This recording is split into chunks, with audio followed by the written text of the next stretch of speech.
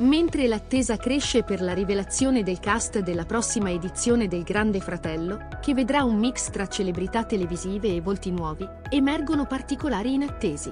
Se non ci sono ancora indicazioni precise sui concorrenti non famosi, molte voci circolano sulle celebrità che avrebbero potuto entrare nella casa.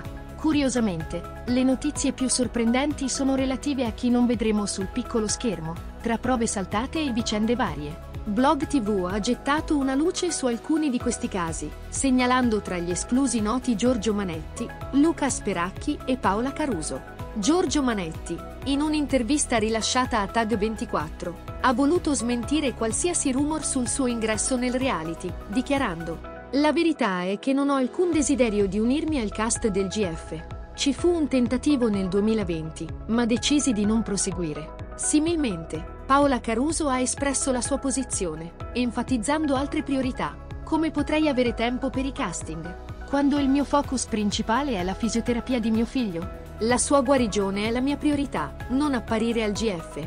Luca Speracchi ha manifestato il suo disappunto per alcune decisioni del programma, sottolineando: Ho sempre desiderato unirsi al GF, ma alcune scelte editoriali mi hanno dissuaso. Escludere professionisti come me su basi precostituite è ingiusto e rappresenta una forma di discriminazione. Anche Gwendalina Tavassi ha espresso la sua critica.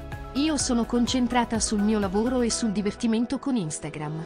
Tornerei al GF, ma non vedo spazio per influencer o figure controverse.